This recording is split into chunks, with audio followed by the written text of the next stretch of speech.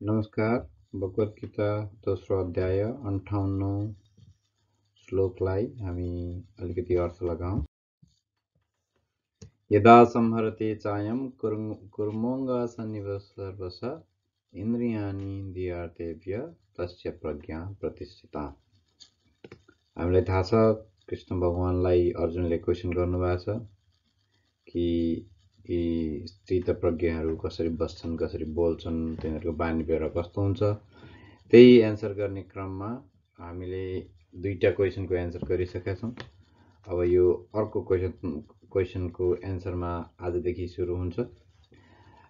र यसलाई बिस्तारो फुटाएर हामीले हेरौँ के रहेछ भने यदा वेन जब सबै वाइन्ड जब सबैले खिचेर ल्याउँछ। केले खिचेर ल्याउँछ? त्यसलाई जब उसलाई खिचेर ल्याउँछ सम त्यो समस्याहरूले या यो संसारी जालहरूले खिचेर लाउँछ उसले चाहिँ कस्तो बिहेभियर गर्छ त भन्दा कुरुमङ्गा निवसर बस कुरु यो टोटोइस जस्तो कछुवा जस्तो खालको सबै सर्वस सबै इन्द्रियाली त्यो आफ्नो सेन्सेसहरूलाई कन्ट्रोल गरेर उसले चाहिँ त्यो खालको काम गर्छ। इन्द्रियलाई कन्ट्रोलमा ल्याउनलाई कछुवाले त्यो आफ्नो आपत्ति पर्दा आफ सबै चिज आफ्नो आफूतिर खिचेको जसरी उसले इन्द्रियहरूलाई कन्ट्रोल गर्छ भन्ने भन्ने क्रसले चाहिँ स्थित प्रज्ञा त्यो स्थित प्रज्ञा भन्ने मान्छे कस्तो हुन्छ त भन्दाखेरि सेन्सेसहरू फ्रिली बसिरहेको हुन्छ तर जब उसलाई अप्ठ्यारो पर्छ उसले चाहिँ सडन्ली आफैलाई आफ्नो सेन्सेसहरूलाई कन्ट्रोल गर्न सक्छ। जस्तै कछुवाले सेलमा लुकाए जस्तो आफ्नो सेन्सेसहरूलाई लुकाउन सक्छ। भन्ने खालको ग्रसली चाहिँ यस्तो खालको अर्थ लाग्छ यसो अब हाम्रो सेन्सेसहरू चाहिँ गीताले के भन्दो रहेछ भने हाम हाम्रो यो इन्द्रियहरू पाँचवटा सेन्सेसहरू यहाँ फोटोमा देख्नु भएको छ तपाईँले। हेयरिङदेखि लिएर स्मेल भिजन टेस्ट फिलिङ यो खालको पाँचवटा सेन्सेसहरू चाहिँ साफ जस्तो सबैतिर त्यति अनकन्ट्रोल्ड कुनै कम्प्लिट डिरेक्सन नभइकन हिँडिरहेको हुन्छ। मल्टी डाइरेक्सनल लुज र अनलिमिटेड त्यो अब यतिले पुग्छ भन्ने पनि छैन। यो सेन्सेसहरू आउँछ जान्छ आउँछ जान्छ एउटा चिज पुरा गर्यो अरू दुइटा निस्किन्छ। अनि त्यो चिज पुरा गर्यो त्योभन्दा बढी निस्किन्छ। त्यही भएर यस्तो अनकन्ट्रोल्ड सेन्सेसहरूलाई चाहिँ हामीले हामी जुन योगी कर्मयोगी हामीले डेफिनेसन हामी काम गर्ने मान्छे हौँ। हामी तपस्या गर्ने योगी नभए पनि हामी कर्ममा लागेका योगीहरू हौँ। हाम्रो सबभन्दा ठुलो धर्म काम हो। हामी निष्काम कर्मयोगको हिसाबले काम गर्छौँ। हामीलाई रिजल्ट आउँछ।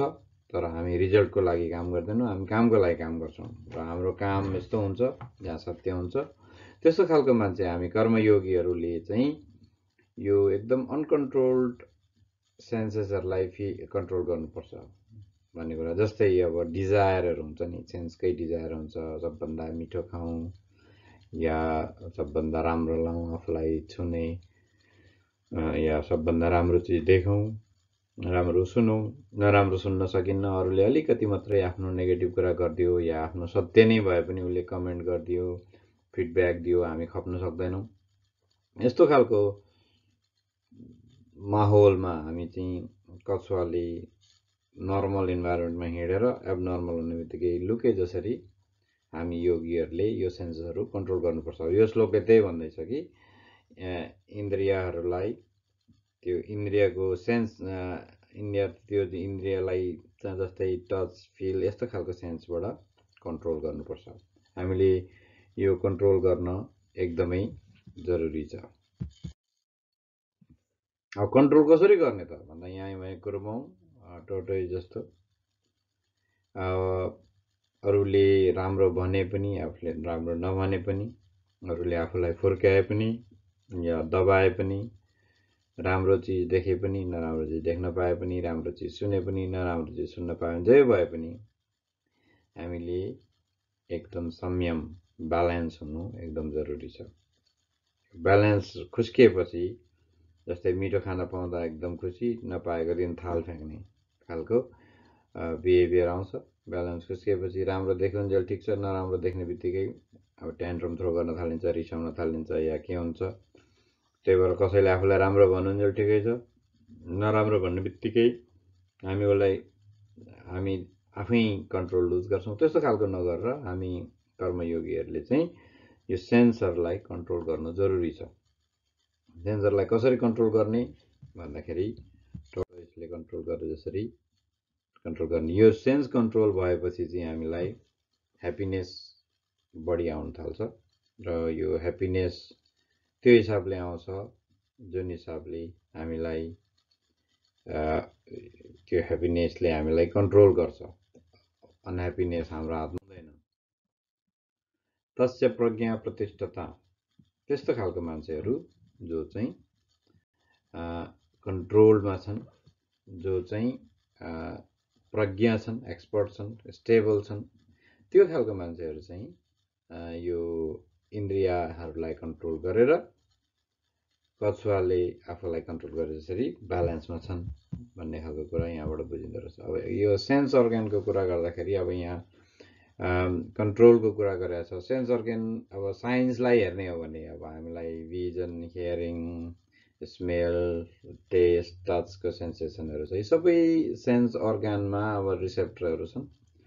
रिसेप्टरले चाहिँ अब त्यो ट्रिगर हुने बित्तिकै पिरो या नुनिलो या गुलियो यस्तो खालको जिब्रोमा आउने बित्तिकै जिब्रोबाट चाहिँ नर्भको सेन्सेसन ब्रेनमा जान्छ। अब यो तल्लो फोटोमा तपाईँहरूले देखिराख्नु भएको छ ब्रेनको कोही भागमा स्मेलको एरिया छ कोही भागमा टचको एरिया छ कोही भागमा टेस्टको एरिया छ कोही भागमा भिजनको एरिया छ र कोही भागमा सुन्ने एरिया छ।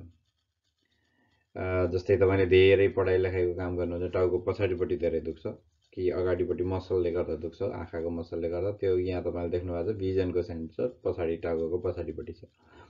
अब यो हामीले सेन्स अर्ग्यान कन्ट्रोल गर्नलाई हाम्रो थिङ्किङ कन्ट्रोल गर्नुपर्छ किन दिमागमा छ नि त। यो सेन्टरहरूलाई पनि हाम्रो दिमागले यो फ्रन्टल जुन आफ्नो आफूलाई कन्ट्रोल दिमागको पनि मेन एरियाले यी सेन्टर यी भिजन सेन्टर हियरिङ सेन्टर खालको सेन्टरहरूलाई कन्ट्रोल गर्न सक्छ भन्न खोजेको के भने हामीलाई लालची बनाउने या नबनाउने आफ्नो सेन्सहरूलाई कति छाडा छोड्ने या कन्ट्रोलमा राख्ने र आफू सेन्सहरूले आफैलाई फाइदाजनक काम गर्ने कि आफूलाई घाटा पुर्याउने काम गर्ने? यो डिजायर यो कन्ट्रोल हाम्रै हातमा छ। तर अब एकदम छाडा छोडिएको सिचुएसन छ भने आजको भोलि कन्ट्रोल हुँदैन। बिस्तारो बिस्तारो कन्सियसली हामीले कन्ट्रोल गर्न सक्छौँ। त्यो यसमा के भन्न खोजेको भने जुन फिक्स्ड मान्छे छ प्रतिशत फिक्स छ केमा फिक्स छ? राइट र रङमा फिक्स छ। केमा फिक्स छ? आफ्नो ह्याप्पिनेसमा फिक्स छ। त्यस्तो खालको मान्छेले चाहिँ कन्ट्रोल गर्न सिक्नुपर्छ।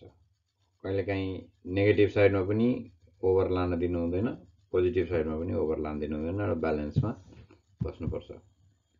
अब कन्ट्रोल चाहिँ हुनैपर्छ बिना कन्ट्रोलको चिज हामीले ह्याप्पिनेसमा हामी यो गीताबाट यो गीता फर्मी होल प्रोसेसमा के कुरा गर्छौँ? ह्याप्पिनेस हामी अनह्याप्पी छौँ अथवा हामी ह्याप्पी छौँ भने त्योभन्दा बढी ह्याप्पी कसरी बन्ने? र हाम्रो होल प्रोसेस नै ह्याप्पिनेसको एगेन वरिपरि घुम्छ जुन हामी भगवान् भन्छौँ या भगवान्को क्रिएटरको यस्तो खालको कल्पना गर्छौँ हामी गीता फर्मीमा चाहिँ त्यो ह्याप्पिनेस विथ इन्भाइरोमेन्ट हाम्रो इन्भाइरोमेन्ट पनि हामीलाई चाहिन्छ। हाम्रो वरिपरिको इन्भाइरोमेन्ट कसरी क्रिएट गर्ने हाम्रो नेचुरल इन्भाइरोमेन्ट कसरी क्रिएट गर्ने र हामी आफैमा ह्याप्पी बस्ने इन्भाइरोमेन्ट कसरी क्रिएट गर्ने यही यही खालको प्रोसेसमा चाहिँ यो हाम्रो गीता फर्मी हामीले गीतालाई टिपेर गीताको अरू अरू चिजलाई फोकस कम गरेर र हामीले जुन मेन अब हामी हामीलाई लाग्ने जुन ह्याप्पिनेस हामी काम गर्ने मान्छे गीता संस्कृत नपढेको मान्छे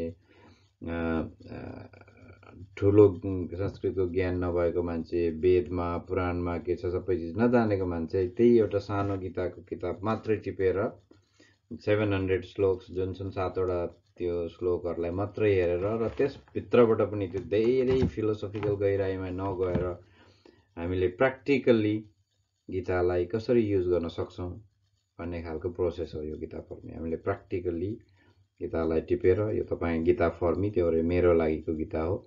यो हामीले कसरी गर्छौँ? त्यो त्यही प्रोसेसमा अब यहाँ आज चाहिँ के कुरा गर्छ सेन्सहरू हाम्रो वरिपरि सधैँछन् हामीलाई राम्रो चिजले एट्र्याक्ट गर्छ र हामी त्यो राम्रो चिजको पछि पर्छौँ। कहिलेकाहीँ एकदमै धेरै जस्तै तपाईँले सुन्नुभयो होला इक्जाम्पल कुनै केटालाई कुनै केटी मनपर्छ र त्यो केटीको पछि परेको परै परेको परै परेको परै केटीलाई मन नपरे पनि यतिसम्म पर्छ कि उसले आफैलाई पनि नष्ट गर्छ र त्यो केटीलाई पनि नष्ट गर्छ। सिम्पल त्यो प्याथोलोजिकल भयो नि अब मन पर्नुसम्म ठिक छ। मन परेर दुईजनाकै मन मिल्थ्यो भने एकदम राम्रो।